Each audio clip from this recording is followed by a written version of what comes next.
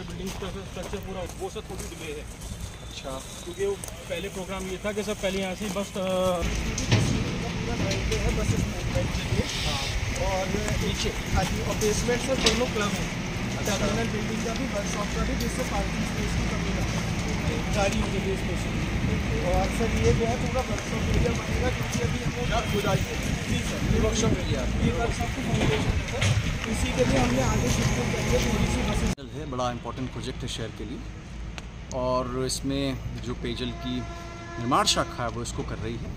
28 करोड़ का ये प्रोजेक्ट है। अ, मौके पे प्रोग्रेस इसकी ठीक है। टर्मिनल बिल्डिंग में तो ठीक ठाक प्रोग्रेस हो चुकी है। सौ गाड़ियों की अंदर छोटे व्हीकल्स की भी यहाँ पे प्राविधान रखा गया है। इसके अलावा वर्कशॉप भी यहीं पे बन रही है। और जो इनका प्लान है, उसके अनुसार सितंबर तक इसको होना है।